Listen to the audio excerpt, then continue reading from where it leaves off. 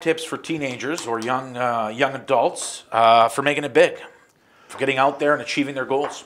Don't go out as much as I did and spend all your money when Okay. you're younger. So tip one, save. Save some money. Save. If you could save money when you're in your teens, you're already ahead of the game.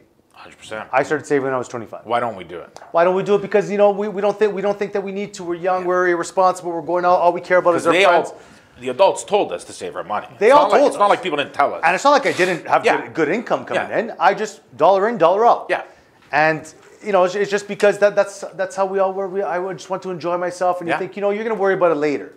But you know, there's people that I knew that were saving from when they were 15, bought a house at 25. They're already ahead of the game. Yeah. They use they they rent that property out. Yeah. Now they have an investment property. Of They're course. already ahead of the game. They have massive equity. Yeah. They already have that 200, 300 grand that they put down on the deposit in equity. and and they didn't maybe go out and go nuts when they were young, but now they're living Exactly. large. And now when we're struggling to buy that house to save at 25 to 30, 30 to 35, maybe they bought their second property by now. Yeah. You know what I mean? So the, the main thing that I would say, you know, and I tell my, my sister, she's, she's the same age, 22 now, I tell her the same thing, save. Save. Just save. Don't go, don't spend as much as you can. You know, for, for mm-hmm. me,